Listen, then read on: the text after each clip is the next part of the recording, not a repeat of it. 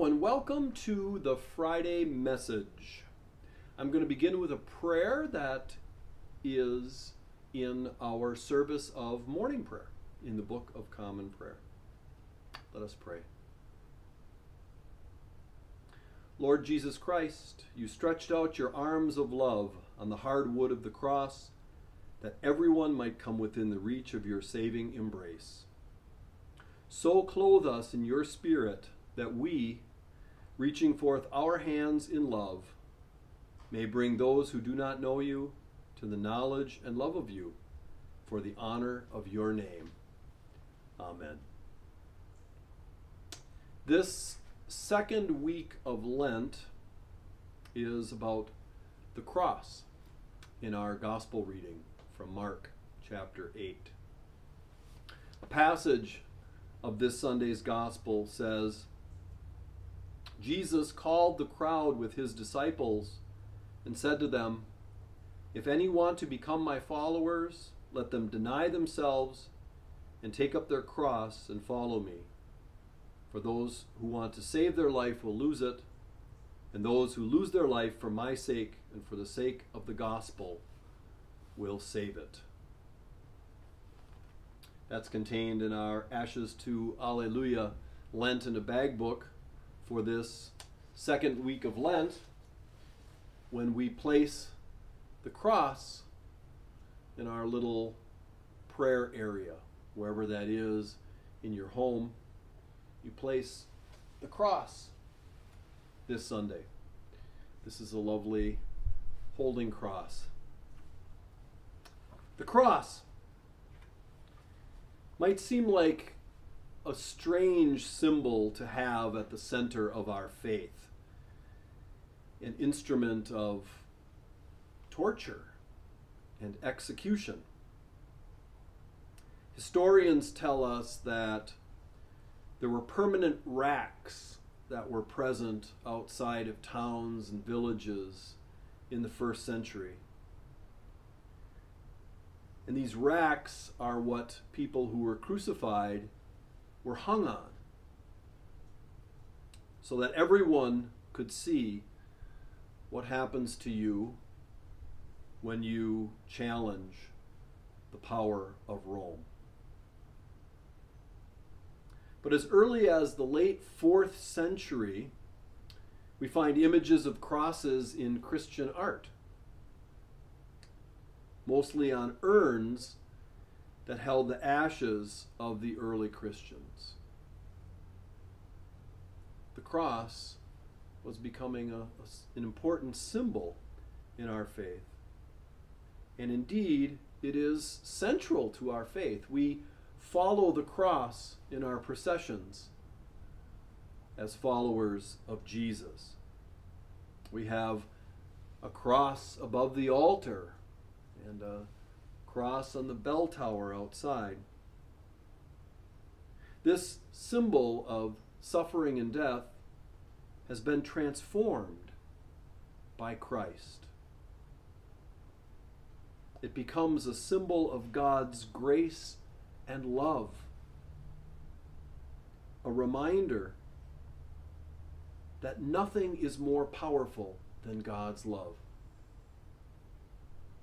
Even death is not more powerful than love.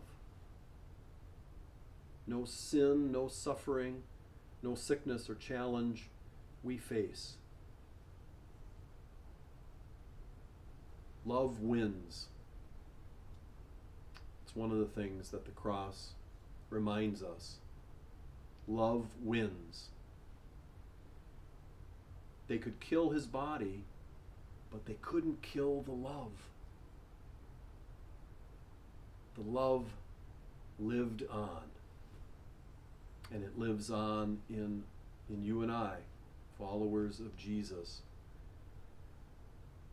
when we heed the call to love God and to love our neighbor.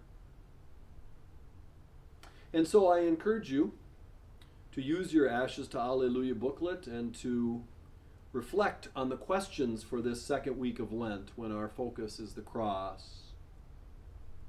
What are some of the crosses you have bared in your life? How has God helped you through those times of struggle and grief? What has helped you bear the cross of this pandemic? And then there's a nice reflection that follows on some of the meanings of the cross.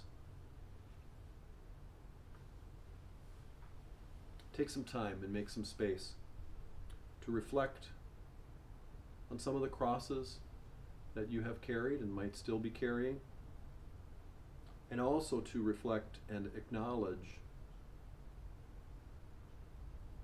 that this most important symbol of ours is a symbol of grace and love. The everlasting love of God in Christ Jesus.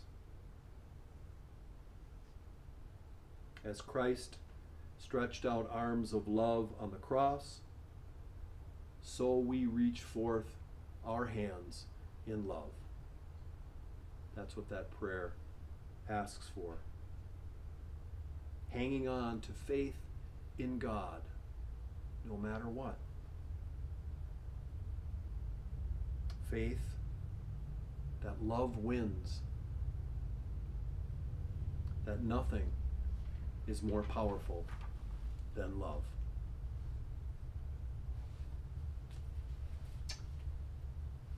Just a few announcements. If you haven't had a chance to see the annual meeting video, it is posted on the website, and I encourage you to take a look at that.